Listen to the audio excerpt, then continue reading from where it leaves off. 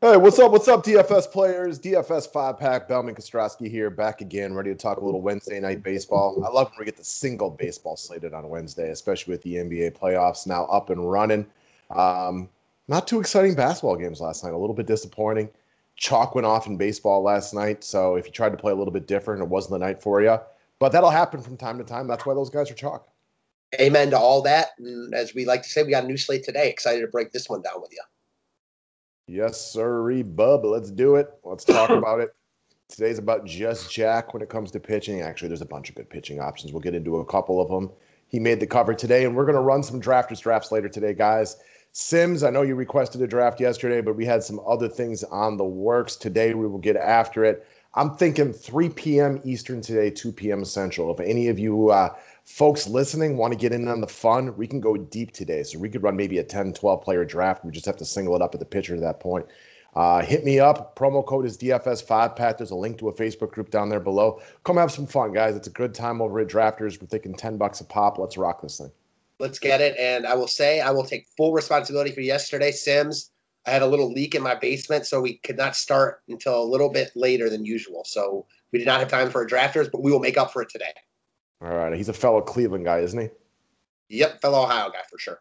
Ohio at the very, very least, guys. Memberships available through the website. Subscribe to the station if you're new to it. As mentioned, and pretty much anybody with two eyes can see from the cover, we're talking Jack Flaherty today. So there's there's several good pitching options. I mean, you could make an argument for upwards of 10 guys today, maybe even a little bit more if you're a little loosey goosey with who you like to play with, which is all right when it comes to the game of baseball. But we're going to talk Jack Flaherty, and I think it specifically comes to his high floor today. So, uh, as bad as the Pirates are, they don't actually K a ton, but their offense is truly pathetic. So, when we want to talk about a high floor, like Flaherty, he had a bad first game he was awful in the first inning against the Marlins. It has really just been excellent since then. You know, we're big Flaherty guys. You know, he's 7 and 0, making a case for the Cy Young this season. He's in a really good spot to get in the win today. Like, I don't think he's dropping 40 on us for, you know, like we get sometimes with potential of like an Urias or, you know, Max Scherzer or something like that. But I feel damn, damn good about his floor today because the Pirates offense is truly pathetic. Yeah, you said he's not going to drop 40 on us. Well, if it were me and you in the lineup, he probably would drop 40 yeah, plus true. on That's a good point. But um, you're right, man. I feel almost embarrassed that I was on Washington Bats like that third start of the year after he looked a little bit suspect. That slate, again, I'll give myself a little bit of the benefit of the doubt. It was a crazy slate. There were a ton of good pitching options, not many hitting options. That said, ever since that, I've been kicking myself because we're huge Flaherty fans. We've been on him, you know, for a couple years now. We both are big fans of not only his stuff but the cut of his jib in a good spot. Like gives you that nice warm and fuzzy feeling at home against Pittsburgh. You're right. He doesn't have the highest upside on the slate, but that's okay. He's got the highest floor, in my opinion, with really nice upside as well. At 9,700, I think he's a nice look in all formats. A guy I, am looking at building my, my lineups around.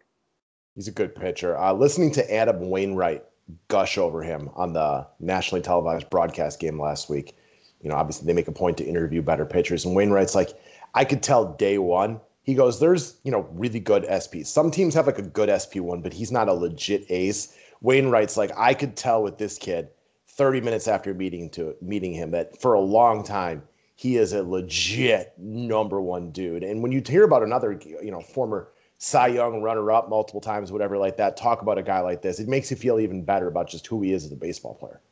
I love hearing that. Yeah, Wainwright's got a lot of credibility is in his own right, and yeah, he might not be like the elite ace, uh, like a Jacob Degrom or a Gerrit Cole, even, but he is a number one for sure. You know, I mentioned it kind of the same regards as like Giolito the other day. He's better than Giolito in my mind. They're they're Agreed. similar. They're they're in the same ballpark though. Giolito might have better DFS upside on any given day because he has some of those just dominant 14, 15 strikeout type of games. But like if I was a GM and I was making Agreed. my team right now, I would take Flaherty over Giolito, and that wouldn't even be a question. I agree with that. All right, next up. So let's talk about Hernandez from the Boston Red Sox, 3,300, second base and outfield eligibility. And I will start by saying this to me is a lot like Ji-Man Choi from yesterday, in my opinion. Like, I think he's a cash lock. Projected to be the highest owned player on the slate from an offensive perspective. He's got dual eligibility. I know Boston guys are getting a little bit of love today, and this is a lot about his price tag at only 3,300. Stripling is meh. He's not the worst pitcher in the league, but you certainly I get why going up against him today, there are Red Sox players getting love. And like I recommended Choi for cash games yesterday. Choi was really good. Homer, big points. Uh, I still would have faded him in GPPs, and I think the same thing applies here today. Just because we brought up Choi for cash and he was good for cash games and would have been good in any format, I still think the fate of Hernandez is smart today. I think it's very similar in that essence. I think you lock him in in cash games, but knowing how popular it is, I'm definitely interested in the GPP fade. Yeah, this is a classic one for me. If you're stacking Boston, throw him in there. If you're not, probably wouldn't look to use him as a one-off at this high ownership in a really popular stack. I mean, again, I get it. He's leading off. He's 3,300. He's got dual position eligibility. He's a decent hitter. Makes a lot of sense. In tournaments, he is far from a lock. I agree wholeheartedly. Moving along. So we're going to get over to your home run call today. A little man called Miguel Andujar, who has been stuffing the stat sheet with singles lately, which are buying signs for a bigger day coming. No one's going to look at Andujar hitting 172, no homers, only one RBI, real OPS, only three DK points per game. But we know who this guy is. Only a couple of years ago, we saw him absolutely tear it up. That you know, Gio Urshela is now the full time you know third baseman, and that's not because you know Andujar hasn't been good. It's because Gio Urshela was just amazing in the opportunity he had. Andujar still has legit power. I've seen all his at bats recently. Finally, seeing the ball well two singles yesterday, five singles in his past four games. He's going deep today. The Yankees are my top stack on the board. Love him at his price play at 2,700. Like, I'm just excited talking about this. I love this slate. Assuming the Yankees stay low on, like, I love this slate. You got it, guys. You know those Yanks got some power. All right, let's move over back over to cash game play. Let's talk about Mitch Money Haniger. So I'm going to go out on a limb. I say I doubt Tarik Skubal goes full Spencer Turnbull today. And I think the Mariners got some runs in them. Haniger's having a great season, right? Batting average isn't, you know, great, but the 12 home runs, 29 RBIs, really hitting for a lot of power. And so far this year, Tarik Skubal has been suffering when it comes to the home run ball. So Haniger's lined up in a good spot to go yard once again today. Uh, not a lot of crush spots on this slate where offenses that you're really, really going to love, love. I know you love the low and Yankees, but like even the chalk offense today have holes in them. So Seattle is going to be one of those teams that has a little bit of popularity applied to their name today. And Haniger's going to be my favorite because, well, he's their best player. Yeah, agreed. He, he looks really good here. Again, he was too cheap for much of the beginning of the year he's more in line where he should be priced at 4,500. Having a great year, ton of extra base hits, second in the AL in home runs, tied with Jose Ramirez. I'm pretty sure now.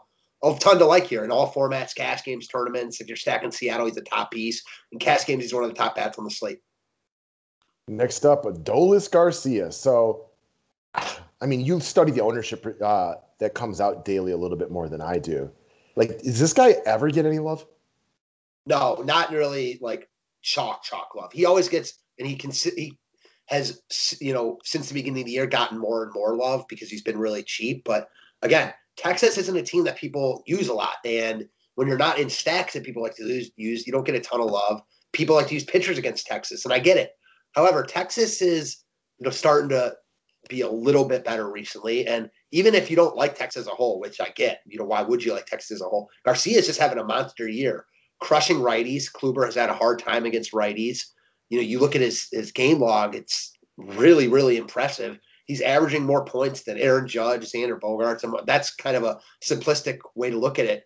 It still holds some merit to me. I mean, the guy's averaging over 10 DK points a game. I love him at lower ownership in tournaments in a sneaky spot.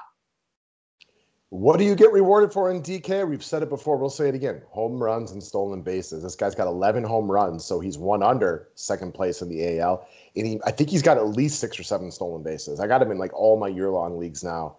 Uh, just picked him up to stream him one day, and he's been so good I couldn't get rid of him. Yep. Amen to all that. So that's what we got for today, guys. We'll drop some playoff NBA info on for you for just a little bit right here. Uh, hopefully, everybody has wonderful luck and brings home the bacon tonight. And if you're playing in the day slates, best of luck to those as well. Thanks a lot, guys.